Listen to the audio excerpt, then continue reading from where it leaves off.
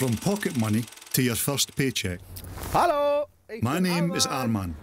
I came to Hamburg as a child 15 years ago and walked along empty streets, not a kid in sight, and I wondered, don't they have work to do? In Germany, children and young people are usually looked after by their parents. They also get pocket money. For young people like you, who live here without their families, things are a bit different. Your parents can't give you any money. Does that mean you have to work to support yourself here? No. Children aren't allowed to work here. Instead, girls and boys are expected to go to school. You have to go to school as well. First, you learn German, and then you learn everything that the other German speaking children and young people learn. While you're going to school, you can't earn any money. But the best thing is, it doesn't cost you anything to go to school and you'll probably enjoy it too.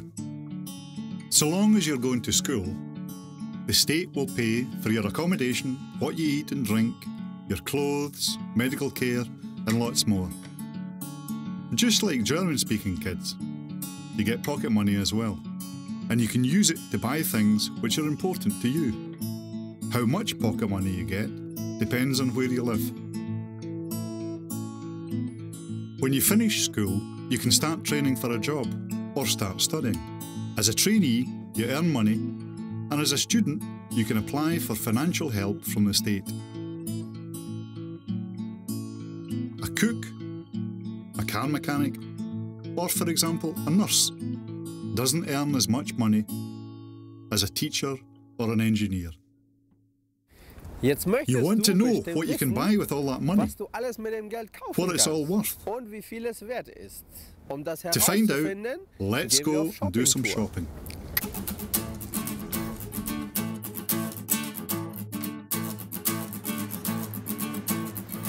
In Germany, shops and businesses, just like government agencies and offices, open and close at fixed times.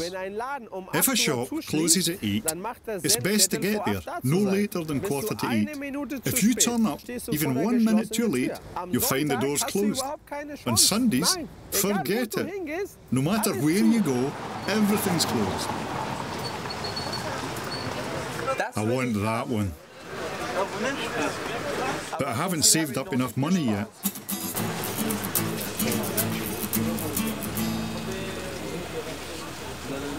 Cool.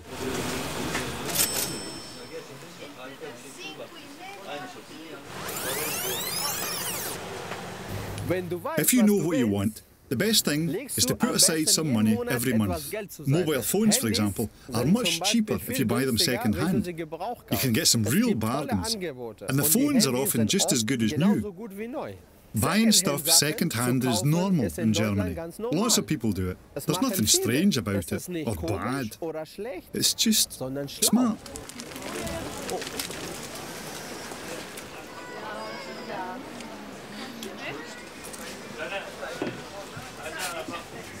Salam alaikum. Is that halal? Is that halal?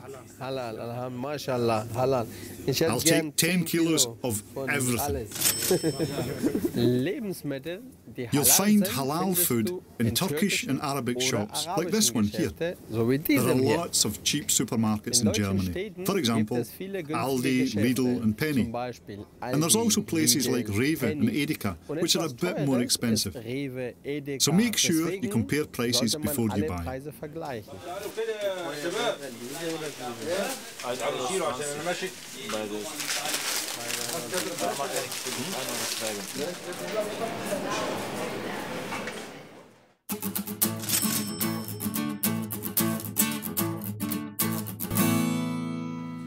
Pomegranates, for example, are more expensive here than in countries further south, and are more difficult to find.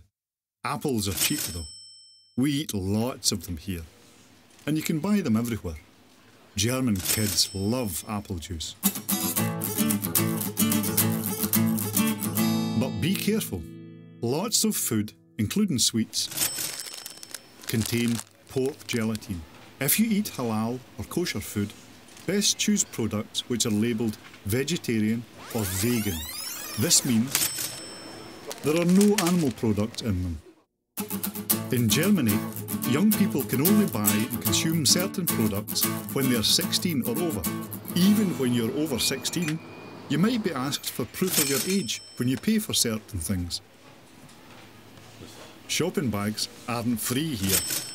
That helps protect the environment from too much plastic rubbish. You can use most bags again and again. They're pretty strong. Don't throw away empty cans or bottles. Bring them back instead, and you'll get the deposit back.